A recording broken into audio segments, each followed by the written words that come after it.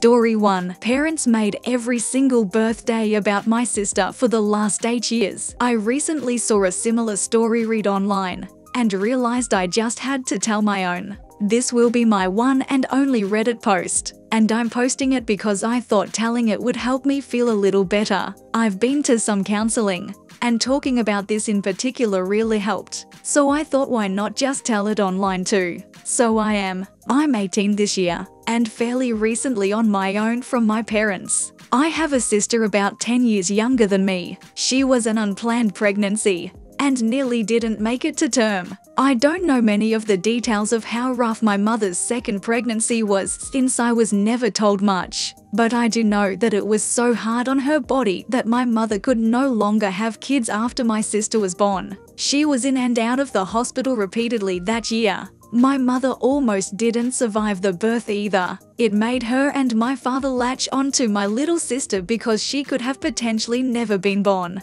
And ever since then, I felt like I was just the other kid in the house except for when they needed me as a free babysitter. The level of favoritism my parents showed long term has me believing they were genuinely sick in the head for not noticing exactly what it was doing to me. And now it's rebounding on them, which I'll explain here. Starting with my 11th birthday, my parents wanted me to let my sister blow out my candles because she was two years old and cried at the sight of a birthday cake that wasn't hers. I didn't want to do it, but my parents forced me into it. They lit the candles for me to do it again after her, but the moment felt completely ruined. The same thing happened the next year, and the year after that, and so on and so forth. They just kept forcing it until it became the norm. My sister had to have presents on my birthdays as well. I never got any on hers either. And when I asked why, they just told me that I'm a boy and boys don't need to worry about it as much. I know I was a kid, but did they really think that was a smart thing to say? Not really. And my parents would always choose a place my sister would like to be at more than me on my own birthday. Eventually, it became more like my sister was getting two birthdays a year, and I got known. Beyond this, my parents made their entire lives revolve around my sister. If there's something I wanted to do, my sister had to want to do it too. Otherwise, it was vetoed unless I could do it alone. I learned to just lock myself in my room with my video games because they didn't seem to bother me there, unless my sister wanted to come running in to annoy me. Hence why I put a lock on the door. My parents wanted me to remove it, but I freaked out because I was an angry teenager who was tired of being intruded on at any given time. My sister came running in more than once when I had no clothes on, and my parents were upset at me for being naked in my own room.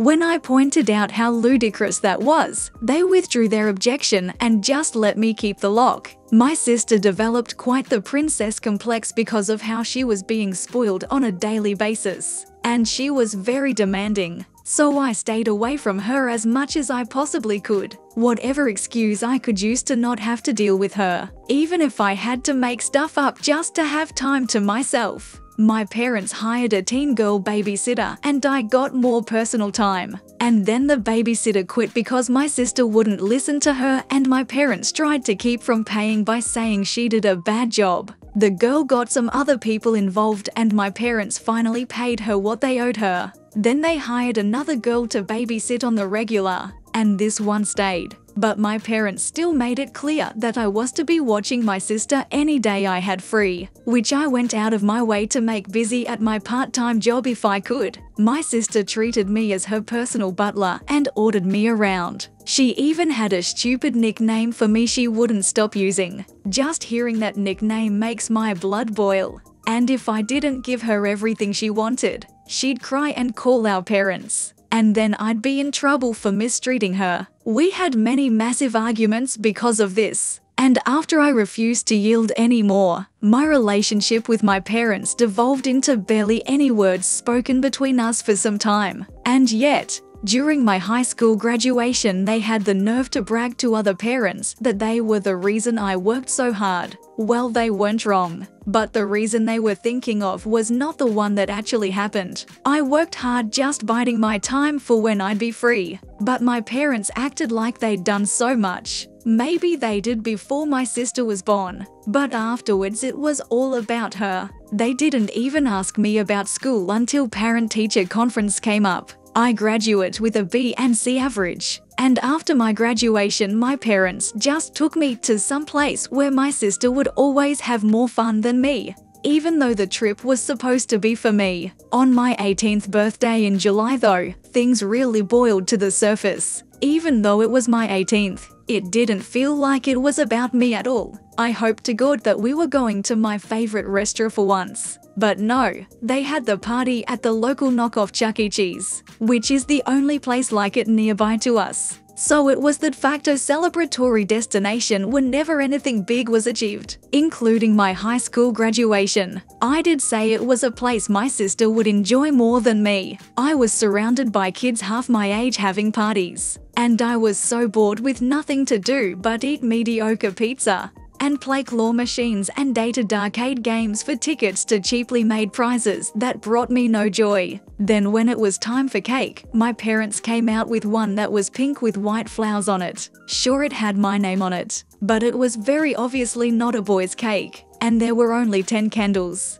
My parents lit the candles and set it right in front of my sister to blow out. That's when it finally happened. I just had this mental moment of all the pent up hate mentally flashing before me. And then I just started ugly crying. I, an 18 year old boy, was crying in front of the whole family. Everyone was so shocked that time seemed to just freeze. I got up and all of the stuff I'd been holding in for the past eight years just spilled out like word vomit. The entire family got to witness this event. And when it was finally over, I just walked outside to sit by the family car. Several relatives trailed out after me to say they were sorry and that they didn't know about the pink cake because my parents kept it covered till it was served. I said it didn't matter that they didn't know. They all sat back and watched as my life was taken over by Little Miss Sunshine for the past eight years. I had no real birthdays or celebrations of my own. They were all about her. And then, on the biggest birthday of my life, they all expected me to just smile and nod like always while they handed my sister a cake that was entirely meant for her when it wasn't even her birthday. Some of them started giving me apologies. But they made the excuse that all this time they just thought I was okay with it because my parents said I was. I told them I was never okay with it, and my parents forced it on me every year till I just pretended to accept it. I spread my arms out and said to look where we were. Does it look like the place I wanted to celebrate my graduation and 18th birthday? No one even tried to stick up for me all this time. I'm just the other kid while my sister gets everything. I didn't even get to have any of my friends there because my parents stopped letting me invite them long ago after they tried to voice their opinions over my sister getting to blow out my candles. There are 365 days a year. And was it so bad to want one that was about me and not her? Instead, I'm treated like the greedy, entitled brat for wanting my own birthday. Then I just went back to ugly crying. My father came outside by that point to yell at me for making such a huge scene. Because my mother was crying too. My sister was upset because I ruined her moment. And now everybody in there who saw thinks they are bad parents. I ended up yelling at him that they are bad parents and he should know exactly why. Well, after I said that, the rest of the family descended on him like a pack of wolves. Better late than never, I suppose. But I'd never seen anything like it before. My father was practically backed right up to the restaurant front door, and then most of the crowd flooded back inside with him to have it out with my mother too. My grandparents stayed with me, and apologized for having their eyes shut so tight for so long. I don't know what was said to my parents in the restaurant, but it was roughly a half hour before they came back out. And when they did, they looked incredibly defeated. My mother was still sniffling after crying so hard, and neither of my parents could look me in the eyes. They both awkwardly apologized for what they did, and then offered to redo the party elsewhere. But that wasn't really enough for the crowd. One of my uncles, ahemmed,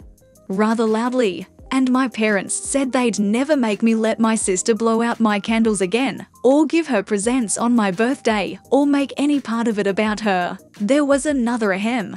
And my parents also apologized for getting a cake that was obviously not even meant for me, and that they just felt like I wasn't worried about cake anymore at my age. Oh boy, was that the wrong thing to say. I became furious all over again and yelled at them that my age was irrelevant. They'd literally given my birthday to my sister and had no good reason as to why, and they knew it. Then I said there was no point in redoing the potty because it's too damn late. They clearly showed that I mean nothing to them. They ruined eight years of my life till I became an adult. What future birthdays with them could I possibly look forward to? Well, my father started to get angry at me for saying that. But when the entire family yelled at him, he shut up. My grandfather told him I'm exactly right and there is no possible way they can undo the damage done now. He said my parents were awful people, played favorites, and treated me like a black sheep ever since my sister was born. And what's more, they were all awful themselves because they just let it happen too. And I owed far more than an apology. I was owed my life back. My mother broke down again and tried to come closer to me while crying my name and apologizing, but I refused to let her anywhere near me and half the family body blocked her from getting close. I just said I couldn't take this anymore and started to walk away. One of my aunts chased me down and brought me back. I could hear multiple family members yelling and cussing at my parents over what happened. But I was so upset, I couldn't even feel happy for any bit of justice after all this time. Also, where was my sister when this was all going on? She was still in the restaurant all by herself eating cake and ripping open presents that were there for me. And if anyone was wondering, Yes, my parents served her some cake after I cried and walked out. You think doing that wouldn't be their primary focus at the moment, but they were called out on it later. My grandparents got me to calm down and sit in their old minivan while everyone else cleared out the party. My sister threw a huge tantrum after being caught opening my presents one of which was a brand new smartphone that she threw against the wall and broke because she wasn't allowed to keep it. She literally just got a brand new phone on her own birthday a few months earlier. I ended up being so upset that I was ranting that I never wanted to celebrate my birthday again, and my grandparents let me stay the night over at their house. When I came home, I still didn't speak to my parents. My mother just kept crying because I wouldn't talk to her and my father was as closed-mouthed as me. The following weekend my grandparents convinced me to go with them out to dinner, and when we got there, I was surprised to find a whole new party waiting for me. My parents were there, and they kept up with the don't hate us.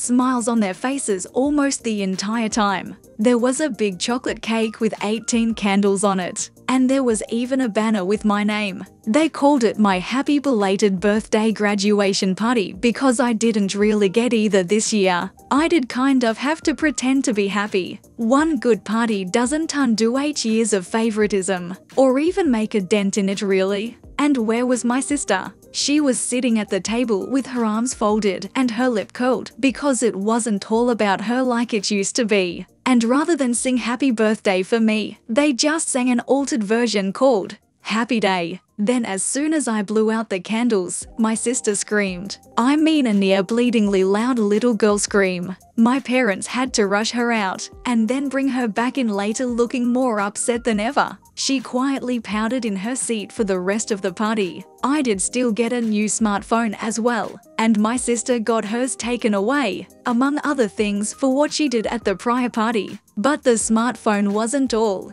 The whole family had chipped in and gotten me a car. It was just an old white Volvo, but I loved it the moment I laid eyes on it. My grandfather knows a thing or two about cars and fixed it up himself. I was so happy. But my sister clearly was not, because she let out another one of those screams. She started having a massive tantrum and demanding a car too. My mother had to take her into the bathroom and they didn't come back out for a while. My father just went back to looking defeated. My sister had effectively ruined their attempt at trying to look good in front of the whole family. Multiple family members also had strong words for my parents that my sister was acting that way because they raised her to be a princess spoiled brat. I obviously started driving the car around right away. But only days later, my sister actually vandalized the car by taking a hammer and breaking two of the side windows and cracking the windshield to the point the car was undrivable. My parents managed to stop her before she did any more damage. But she screamed bloody murder when they grabbed her and took the hammer away, then tried to bite them. Oh, everyone was furious with my sister, especially my grandparents, because my grandfather had put so much work into that car and my sister ruined it while having a massive tantrum. My grandparents had spoiled my sister so badly that she couldn't mentally comprehend that I could have something she couldn't. And several other family members laid into my parents about how they were setting my sister up for failure by making her an entitled brat that expects the world to be given to her. And she's going to have a terrible adult life because they won't put their feet down and teach her some respect. Well, her actions didn't go unpunished. My sister was grounded for the rest of the summer and effective of the new school year was sent to boarding school. My mother cried like a baby about it too. But my father had to be adamant that it was the only way to start undoing the damage they'd done. Yes, they fully acknowledge they are at fault. It was kinda hard for them not to since no one sided with them at all. My sister is absolutely miserable at that school. She hates the clothes, she hates the rules, and she's been lying almost constantly. But with cameras almost everywhere now, she's not getting away with any of it. Our parents tried to visit her a few times, but she just screamed at them for putting her in that place. From what I hear, this may be her school life till she's 18 years old. My parents did pay to fix my car. They had an auto glass company replace the windows and windshield, and it looks just as it did before. In August, my grandfather came to me and said if I was interested. He found me a job working for a friend, but it was 40 miles away. So I'd need to move out of my parents' house unless I wanted that commute. I was all for moving. Finding a first apartment wasn't so easy though. I had to get approved for a credit card just to get accepted for a studio. But I got it. And I have been living where I am now since September. My parents keep trying to contact me, but I rarely speak to them. Anytime we do speak, I just feel awkward and uncomfortable. My grandfather has suggested that they simply don't want to acknowledge how badly they failed as parents and trying to get me to forgive them will make them feel better about themselves, or something like that. But I'm not going to forgive. Not anytime soon. I'm finally happy and away from them. Now they've got nothing. They don't have me. And they don't have my sister. And my parents had to take more hours at work because boarding school for my sister is not cheap. Nor can I imagine was the party they had to throw for me, or the repairs to my car, empty house, angry relatives, and the only thing they have left is their work. Feels like incredible misery to me, and I don't take delight in it. But it is the result of their own actions after all. Edit. I'd like to thank everyone for all the awards I've gotten. It really means a lot to me. I know my post was long and a lot to read, but I just needed to get the whole thing out. And I feel a lot better after having done so. I noticed a few calling this post fake in the comments in various ways. I do not blame you. I'd be highly skeptical reading this and wondering the same things in your shoes. But I lived it. Some parents just really are like that. I've also been contacted by a few people who went through similar and even way worse situations. With all the bad parents out there, is it really all that unbelievable as to what mine did? Granted, the whole family running back into the restaurant to have words with my parents did seem like a stretch. But I come from one of those close knit families where we stick together a lot and do things in groups and it can very easily turn into an entire group against one person at gatherings. I've seen a drunk cousin be surrounded and then removed from the party to sober up in another room because he was being highly inappropriate. I'm not exactly a fan of group mentalities myself. But it ended up saving me because my parents were shamed beyond words for what they'd done. They couldn't even form a proper reason as to why they did what they did to me without sounding like even worse people. So they've basically surrendered saying they have no excuse and are heavily trying to get on my good side. And while a lot of you are praising my relatives for how they helped me, I'm pretty sure a lot of that help was out of shame. They were there for most of those eight birthdays, save for two years because of COVID. But in those other six, they didn't do anything. They had disapproving looks on their faces that my sister got to blow out my candles. But they just stayed quiet. Why? Well, my dad is the son of the head of the family, my grandfather. And my grandfather is a fairly intimidating person. Be on his good side and he'd do whatever it takes to help you. Be on his bad side and the entire family hates you. A good reason why I don't like group mentalities. But once my grandfather basically said they were all at fault for not doing anything to help me for years, they all felt shamed. And they all chipped in for the cost of my car. With so many relatives, they didn't have to donate much each to afford it. I had the receipt for the car when I registered it in my name. They bought it for $2,000 and then put more into it for some parts and tires. My grandfather personally gave it a tune up and changed the fluids. My grandmother deep cleaned the interior. I'm extremely thankful to them all, but I still want to distance myself a bit. I need time to work things out on my own and I probably won't see my parents again until Thanksgiving or Christmas. Some have also compared my sister to that character Eric Cartman from South Park, and it's a pretty close comparison. My sister is chubby because my parents fed her a lot of junk food. She hates eating anything healthy. I once saw her put gummy bears on mashed potatoes. The thought of eating that combination turns my stomach. Her poor diet also made her spend long periods in the bathroom. My parents had to buy fiber snacks for her to eat just to remedy that. And I don't think they were cheap to get the ones that actually tasted good. My sister is also extremely bossy and likes to think she's in charge. She ordered me around near constantly, which is why I often locked myself in my room to get away from her. She lost a lot of friends for being so bossy and controlling and my parents would just tell her that the other kids were just jealous of how special she was. My sister even referred to herself as a princess often, and the epic tantrums she had when not getting her way do remind me of Eric Cartman. I know my sister isn't stupid either. She doesn't try very hard at all and had a C average in school. If she actually applied herself, she'd probably be a straight A student. Edit 2. It looks like I've been banned from this subreddit. Not sure what I did, but maybe I made the post too long. Either way, I can't answer comments anymore. Sorry, but I do thank everyone here that gave me positive feedback from the bottom of my heart. Thank you all. Story 2 An entitled mother rips open the doors on my ambulance,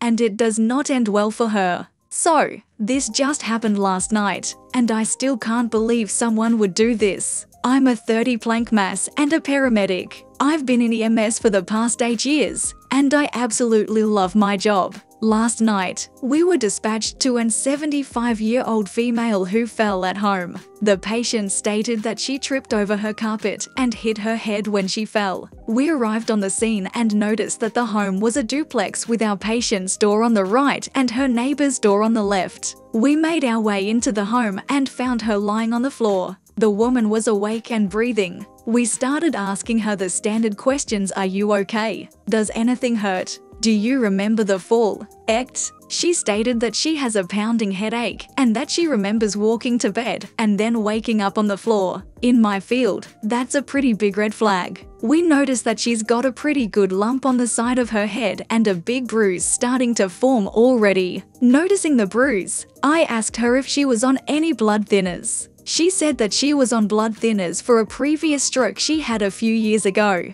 We urged her to let us take her to the hospital because there was a possibility that the fall could have caused a bleed in her brain and she should go to the hospital to get some scans done. She agrees, and we begin to package her up. We applied a C collar around her neck in case of any C spine neck injuries. She denied any neck or back pain, so we lifted her up and placed her on our stair chair. A stair chair is exactly what it sounds like. It's a chair with tracks that we use to carry patients up and downstairs. As we were getting her out of the house, her neighbor whipped the door open and started yelling about how she couldn't sleep with all the lights and noises outside. The sound of the stair chair apparently woke her up, and she was not happy about that. My lieutenant walked over to her and apologized and said that we were dealing with a medical emergency and that we would be leaving soon enough. The Karen neighbor then noticed that our patient was her neighbor, and that's when she started yelling about something totally different. The entitled neighbor started yelling, You can't take her to the hospital. I have errands to run tomorrow, and she needs to watch my kids. My lieutenant again reiterated that we were here for a medical emergency and that her health is more important than her errands. The entitled neighbor let out a loud huff and then slammed the door in his face. We thought that was the end of it. We were wrong. After a few minutes in the back of the ambulance, we told our lieutenant that he could take the engine crew back to the station and that we were going to be heading out in a few minutes. After we checked her vitals, got an IV going, and started giving her IV fluids, my partner got out of the back and went up to the driver's seat. About five seconds later, the back doors of my ambulance fly open. And who do I see? The entitled neighbor, of course. Apparently, she needed a few minutes to get dressed before coming outside. I yell at her, What the hell do you think you're doing? She yells back, I told you that she can't go to the hospital because she has to watch my kids tomorrow. She then starts trying to pull the cot out of the ambulance with our patient on it. Luckily, she didn't know how to unlatch the cot and couldn't get her out. Our patient says, I can't watch your kids tomorrow because I fell and I might be having a stroke. The entitled neighbor yells back at her and says, You're fine. You don't need to go to the hospital because you're not having a stroke. My partner then hears the commotion and goes to the back of the ambulance. He pulls her off the cot, and I slam and lock the doors. You could tell that the entitled neighbor was about to become combative. It's important to know that either the police department or the sheriff's department responds to our calls, too, when it's at night, because of where we were. It took a few minutes for the sheriff's department to show up on scene, but he got there just in time. I couldn't hear much through the door, but I saw the officer get out of Hus Cruiser with his taser drawn. My partner runs back up to the driver's seat and starts heading to the hospital. The last thing I saw through the back windows was the entitled neighbor stomping towards the officer and then her hitting the ground after being tased super satisfying to watch. I was talking with my patient and asked what that was all about, and she said that the entitled neighbor will just drop her three young kids off at her house and leave for several hours at a time with no notice. My patient had no idea that she was supposed to watch the kids at all because, again, the entitled neighbor never even gives her a heads up about these things. Like I said in the beginning, this happened last night, so I don't have any updates, but I'll post an update when I learn more. Small update. My contact at the hospital said that the patient does not have a bleed. She does, however, have a real and nasty looking bruise on her face from the blood thinners it's incredibly common. She will most likely be going home soon. There is no update on the neighbor. I probably will not hear anything back until my next shift day. Story 3. My friend's father body slammed him and cracked his head open. I was on a walk today and walked by one of my friend's houses. We are gonna call my friend Q and saw that he was talking outside with his dad. I stopped because I was gonna go say hi to him. But Q and his dad started to argue over something. Then Q's dad grabbed him by the shirt collar and body slammed him onto the concrete and cracked his head open. There was a lot of blood, and Q's mom ran outside screaming, I'm going to call the cops. What is wrong with you? I just stood there in pure shock and horror as one would. Thankfully, his mom called an ambulance and cops. Update Q is alright. He got stitches and the father has been arrested. Story 4 entitled Neighbor berates me for exposing my body to her grandson. I am simultaneously baffled and weirded out by the call I just received from my neighbor. Her son and his family are visiting for the week. I know for a fact that she is one of those people who looks over the fence at what we are doing and sends countless messages berating us for letting weeds grow in our property. I received a call from her. Furious at me for walking around naked in my garden where her grandson could see me from her upstairs balcony. She screamed at me for 10 straight minutes without giving me a chance to get a word in edgewise. I asked her when this was, as I have never, not once gone outside the door without any clothes on. Apparently she saw me hanging up the washing in my gym clothes, a sports bra and short pants, and assumed I was wearing underwear. Now I admit I am not a small girl, but I am working on feeling positive about myself and therefore started wearing clothes that make me feel good. She demanded that I never wear such vulgar clothing again, or she would report me to the police for public indecency. I just laughed and ended the call. Please note, in our country most houses are surrounded by all walls and security fencing, so she would have had to make an effort to see us from her house. Story 5. M. Karen requests the entire wedding to stop the festivities so everyone can sing happy birthday for her son at someone else's wedding. Stay with me folks as this tale has two nasty Karens. This happened at a friend's wedding I attended this summer. The newlywed couple had no idea that Karen 1M of the birthday boy and their mom Karen 2M of the groom were scheming together to make a happy birthday request with the DJ as the lovely couple finishes cutting their cake, not missing a single beat. The Karens winked at one another across the aisle, and Demone abruptly hand signals the DJ for attention and asks him to stop the music so the entire wedding would look over to her precious boy and sing happy birthday out loud to this grown-ass 38-year-old. The groom and bride had no idea, and the looks on their face was of fume and confusion. The birthday boy had no clue what just happened. I spoke up and said to Karen 1 how embarrassing that would be if my mom did something like that to me and that she should not have taken attention away from the newlyweds. She snapped at me and said with a smirky smile, Well, this isn't for you now, is it? I rolled my eyes and looked away silently after realizing I'm talking to a wall. Story 6 Karen demands I give my service dog to her child as it's more in need than me. That happened a few weeks back, and I was really hesitant to share it here, hoping that Karen doesn't recognize herself. Here it is. It 23 non-binary was browsing in a shopping center with my autism service dog Noxonef as a training. I was picking clothes and trying them on hoping that at the end of the training I'll find something that suits my style. As I was entering another alternative clothes store Karen tapped me on the shoulder. Karen, you know that dogs aren't allowed in this store's right. Me visibly confused. I'm sorry, Karen. Are you deaf? I said that you need to leave. Me as I point to the NOX vest showing the label and the program name that certified her. Ma'am, this is a service dog I've. Karen cuts me off. You are clearly not disabled even less you are not autistic. You can talk. Now leave the store before I call security and get you banned. Me barely holding my tears. Excuse me, plea. Karen, no. I'm going to walk you to the exit to be sure that you and your dog are leaving. In this moment, Zeno X alerted. I needed to sit down, but I couldn't. Everything was so loud, and it seemed the lights were getting even brighter. I started crying, and Deno X moved between my legs for comfort, me sobbing and repeating, Go away. Karen talking over me.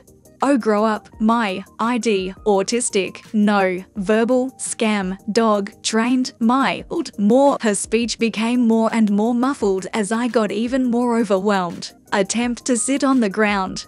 Karen grabbed my arm. Me, do not touch me. If up until this moment we didn't had a crowd, now we definitely did. A security guard appeared. I calmed a bit, enough to understand speech. SG, what's happening? Karen, this person over here is faking. They have scanned a program to give them a service dog for their autism. My child will benefit from that dog more as it really has autism and doesn't speak. I need that dog. As she was saying I felt a tug on NOX leash and I unclipped it from her collar. Now I was holding NOX for her harness as she was sitting right in front of me giving me gentle snuggles and kisses. Karen, how dare you? SG do something. SG turned to me. Mister, is that dog a service dog? Me still crying, yes. Karen, they do not need it. SG, shush. Do you have an ID for the dog times times and can I have yours? Me, yes. I gave SG the needed documents. They checked them and gave them back. Times times I'm not from US UK. There's no such thing as owner trained service dogs. Service dogs are trained by professional trainers and are free. There are requirements that need to be met such as diagnosis and or an interview with medical team lead or therapist. SG. Your documents are intact. You may go. Karen, no, that's not fair. My kid needs that dog more than this adult. SG. Ma'am, I will ask you to return the leash to this gentleman and continue your day. Karen, no. This is for my service dog that they are now holding. SG, ma'am, that's theft. If you don't return the leash now, I'm afraid I'll have to call the police. Karen handed the leash to SG, who gave it back to me. I was escorted to the restroom by SG to make sure Karen doesn't continue to harass me. I washed my face and went to the nearest bench to sit and calm down a bit more. Then I left. Edit. Karen did not call her child Annette. I do not remember its gender. Update. I was not expecting that to get that much attention. Thank you for the awards and the kind words. I spoke with a lawyer as many of you suggested. I can't press charges because technically she didn't break any law. In the country I live in, there's no such thing as emotional mental damage charges, and there was something about the physical touch that I didn't understand, but it's not illegal. As to taking my leash, if she didn't return, it would have been considered a theft. The laws surrounding service dogs are not understandable to me. Story 7 An entitled dad was the scariest part of my Halloween. This year I went all out decorating my yard and house for Halloween for the first time. It's my first house and I was super excited about trick or treating. I decided to go big. I dressed up, handed out goodie bags, and played spooky music. I just wanted to have fun on my favorite night of the year and help all the kids have fun too. I made goodie bags that included some stickers, a small toy, three fun sizes, and a full-size candy bar. I drew something cute on each goodie bag and had a lot of fun with the whole thing. About an hour into trick-or-treating a family pulls up on a trailer with an American flag and Trump flag waving behind it being pulled by a four-wheeler. Several kids came barreling out and ran up to my door. The first few kids were clearly too old to be trick or treating, but I gave them a bag anyway because they had a couple of younger kids with them, probably 7 to 9, and they all quickly ran off. Then, trailing so far behind that the other kids were already back at the four wheeler, was the littlest one, probably 5 or maybe 6 years old, cute as can be. I asked if she was having fun, and told her how much I loved her costume and gave her a bag. She started walking back down the driveway when I'm assuming dad yelled loudly I hear this one has full-size bars. Let me see. And snatched the bag right out of the little girl's hands. He started to walk away and yelled what? Reno, no way. We got gypped. And turned around angrily and started up the driveway toward the house. I instantly felt sick. Blood rushed to my ears. My heart was pounding and I steadied myself for an angry confrontation. I was legitimately scared for a second. I decided right then I was going to stand my ground even though this man was big and scary. Well, he apparently didn't see the full-size bar at the bottom of the bag because he yelled oh wait. There it is. Lucky for them. And turned around, hopped on the four-wheeler, and left. Now, I'm not a shrinking violet, but I almost cried. I wasn't even sure why. Maybe the adrenaline that filled me when I saw him angrily walking back toward my house. Maybe because he totally ruined that experience for that little girl. Or relief that he wasn't coming for me. Maybe all those things. I was shaking so much that I had to go inside and collect myself before going back out. I still can't get it out of my mind. It really did put a damper on the rest of my night, and I've decided that was the one and only time I'll be doing this. This world is so scary, and people are so entitled that doing something kind still gets you threats. I hope that little girl is okay. Oh, I do want to add the one thing that made me feel a little better. Toward the end of the night, I heard a small voice exclaim from somewhere down the street stickers. That's when I remembered why I did it. ETA, thank you for all the kind words. I loved reading about your stories. And I did learn something after it all. Although I felt like a 17 to 18 year old was too old to trick or treat, I see now that it is important for everyone and I should change the way I look at it. As pointed out, at least they weren't out getting drunk somewhere. So thanks for setting me straight. Story 8 My photo shoot, my rules. No minors, period. This happened a few years ago when 2016 happened and an uptick of Karens started to show up in my anime fandom. I used to host a few freestyle photo shoots, which were with a fellow photographer I will call Euro. Euro and I had to have a rule added which protected us as photographers. We made the announcement that we will no longer allow anyone in our shoots under 18 unless their parents were off to one side supervising the shoot. This literally pissed a bunch of teenagers off, and we got messages ranging from us being ageist to being jerks.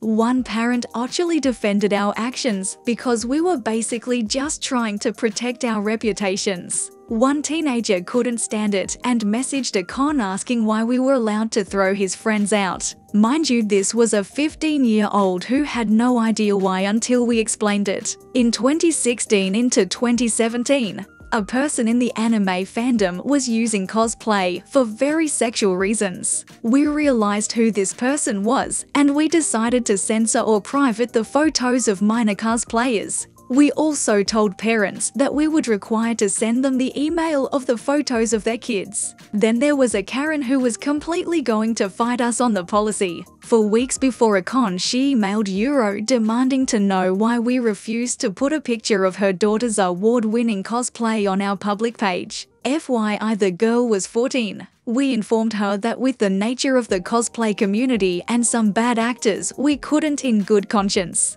Seriously, the lady was willing to put her daughter at risk. We again informed her that we had the best interest of her child in mind when posting images and private all our minors, and would give the parents emails and physical photos, but no posting in public. She again called us ageist and we were embarrassed that her child could outdo the other cosplayers we displayed. If you've seen some of those reality shows about stage moms, you get an idea the kind of parent this was. So finally I decided to forward the emails to the director of the costume contest at OneCon. She decided to ban the child and her mother from competitions Insegin Euro is the photographer. It's been two months since the convention and Euro has had to change emails because this lady won't stop. We been good sports but seriously, please follow the rules if a photographer posts them. Also this is still happening. We since sent the lady her photos of her kid and deleted them from our archive. So if she wants to post pictures of her kid's cosplay, it is up to her.